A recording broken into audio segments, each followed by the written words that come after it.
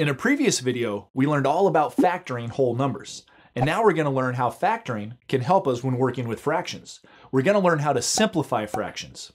Simplifying a fraction means rewriting the fraction using the smallest top and bottom numbers we can without changing the value of the fraction. To help us understand what simplifying a fraction really means, let's take a look at the simplest fraction I can think of, 1 over 2. Now, this is already as simple as it can possibly be, so let's go the other way and complicate it by dividing our rectangle here up into more parts. The amount of our rectangle that's shaded is still the same, but now the numbers for our fraction are 3 over 6. The numbers are bigger because our rectangle is now divided into more parts. The fraction we have now, 3 over 6, is equivalent to our original fraction, 1 over 2. That means they have the same value. They represent the same amount. So what if someone gives you the fraction 3 over 6, like 3 sixths of a candy bar? Well, we know from our picture that that means they're really giving you 1 half. But how can we show that using math and not pictures? Well, that's where factoring comes in. Let's take our complicated fraction, 3 over 6, and factor both the top and bottom numbers. Now, the bottom number 6 can be factored into 2 times 3. The top number, 3, is a prime number. Its only factors are 1 and itself. So we can write that as 1 times 3. There, we've rewritten our fraction using factoring, and now it kind of looks like two fractions being multiplied together. 1 over 2 times 3 over 3. Of course, 3 over 3 is what I like to call a whole fraction, since its value is equal to 1. Now here's the interesting part. Since 3 over 3 equals 1, and multiplying by 1 has no effect on a number, we can just get rid of that 3 over 3.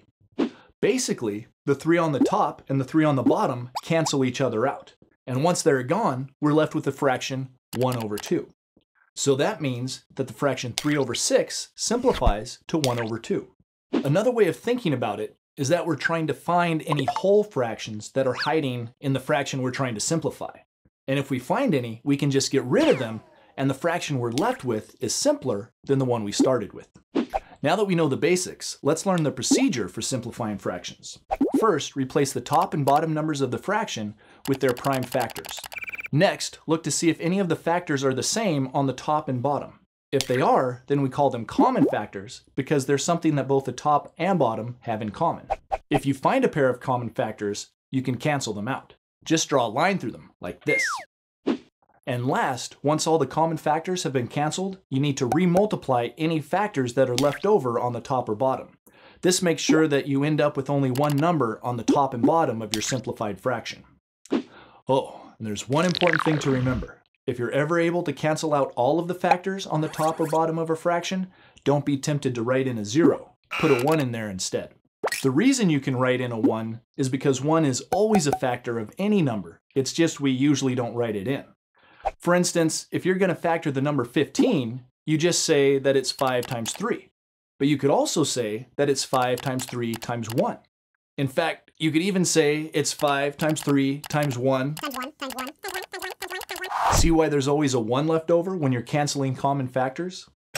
Alright, so that's the basic idea behind simplifying fractions. And once you know the procedure, it's really not that hard. But you might want to rewatch this video just to make sure you've got the idea.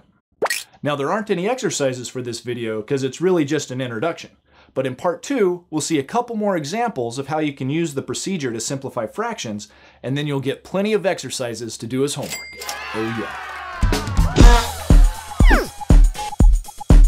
Welcome to part two of simplifying fractions. In part one, we learned the procedure for simplifying fractions. Basically, you just take the top and bottom numbers and factor them down to their prime factors and then you see if there's any factors that are the same on the top and bottom. We call those common factors. And if there are, you just cancel them out. And once you've canceled out all the common factors, you remultiply whatever's left over to get your final answer. In this video, we're going to see a couple examples of how we can use that procedure to simplify fractions. Let's start with an easy one. Let's simplify the fraction 5 over 15. Step 1 is to factor the top and bottom numbers. So we know that 15 factors into 5 times 3. And 5 is a prime number, that means its only factors are 1 and itself. But 1 is always a factor, so we don't need to write that down. Step 2 is to look for common factors and cancel them. And we can see that there's a 5 on the top and there's a 5 on the bottom. They're not directly over each other, but that doesn't matter. they still form a common factor pair, and so we can cancel them out like this. Step three is to reorganize our answer. Now we don't have any factors that need to be recombined by multiplying. We just have a three on the bottom, and we don't have any factors left over on top. But you'll remember that there's always a factor of one. So 5 over 15 simplifies to 1 third. All right, I think we need to see another example, but a harder one this time. Let's simplify the fraction 30 over 36. The procedure is the same. Step one is we factor the top and bottom numbers all the way down to their prime factors. Let's do the top number first. 30 factors into 5 times 6. 5 is prime, but 6 can be factored into 2 times 3. So our 30 on top becomes 5 times 2 times 3. Now the bottom number. 36 can be factored into 6 times 6, and each of those 6's can be factored into 2 times 3. So our bottom number becomes 2 times 3 times 2 times 3. Well, it looks like we do have some common factors. There's a 2 on both the top and bottom that will cancel each other out. And even though there's more than one 2 on the bottom, we can only cancel one of them out because there's only one 2 on top. Remember, you always have to cancel common factors as pairs. Now we can see that there's another pair we can cancel. There's a 3 on both the top and bottom, so we can just cross those out. Okay, that's all the common factors we can cancel. So now all we have to do is see what's left over. We have a 5 on the top and a 2 times 3 on the bottom. We don't want to leave our problem looking like this, so we need to recombine any factors that didn't cancel. That means multiplying together our 2 and 3 on the bottom, which gives us 6.